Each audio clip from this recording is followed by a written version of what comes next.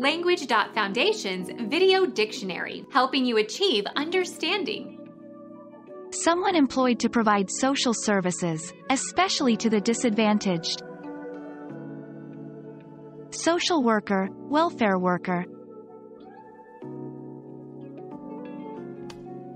Become our student and get access to effective and free educational materials. Subscribe to our channel to become a part of our growing community and to learn English effectively.